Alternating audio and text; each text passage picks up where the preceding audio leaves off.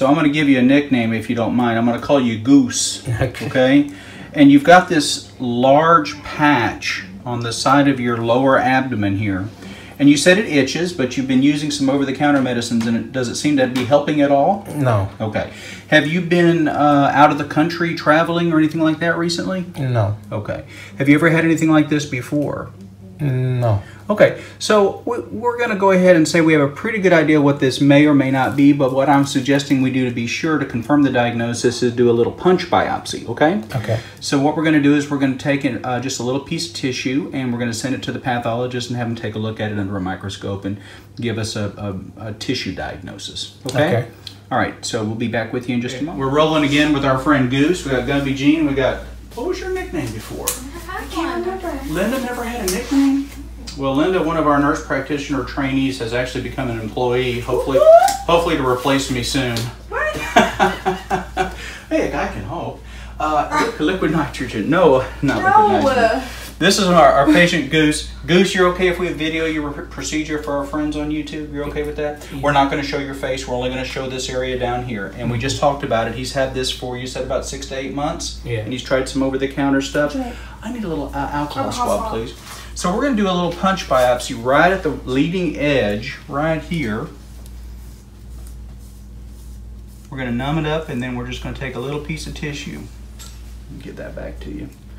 All right. Got Gumby Jean is going to spray Hello, hello, hello. right there for me. Over here a little bit more. I need to get the edge. There we go. That's good. That was cold, wasn't it? Mm -hmm. Just giving you a little numbing medicine. Linda, all you want to do with this is just numb it up so you can use the punch biopsy tool. This does not require a lot of anesthesia, okay? I'm gonna need a four by four, please, ma'am. Thank you. All right.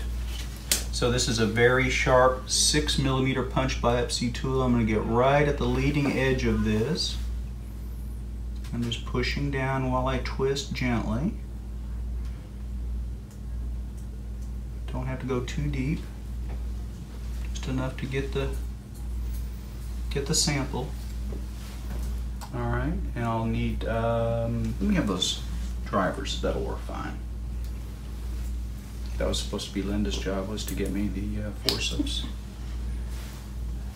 So we're just gonna grab that right there. And I'm gonna take the scissors and just go right underneath, snip that off.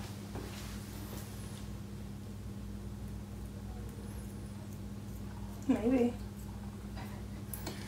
Came right off, and we're gonna put this in the specimen cup. I'm gonna hand that to you and have you hand that back to me with a uh, 5-0 or a 4-0, whatever suture we have there. Good, that's right, we want that. That's right on the edge of that, so this will actually allow the pathologist to see the difference between the normal skin and the affected skin. So I wanna be sure that that's exactly what we're dealing with here, okay? Mr. Goose, you still with me? Yes.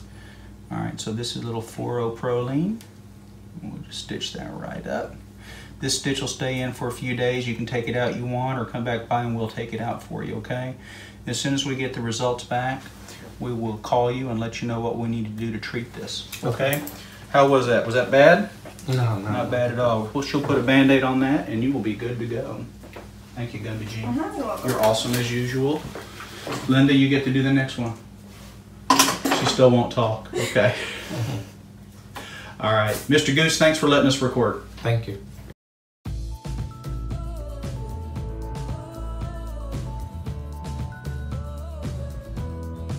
Hi, my name is Melissa, and I've been taking medicine for about three months right now. So far, I'm really loving this product. It's definitely helped me steer off of energy drinks, caffeine. That was my goal. I'm definitely trying to be a little bit more fit.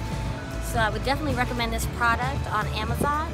So catch me in the next three months, see how's it going. But so far, I'm loving this product.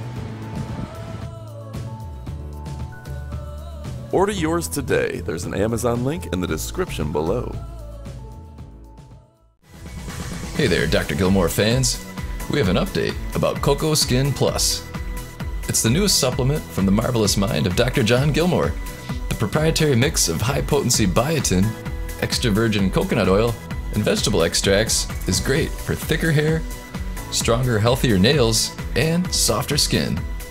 So if you notice your hair lacks luster, your nails aren't what they used to be, or your skin is dry and chapped, it's time to check out Coco Skin Plus.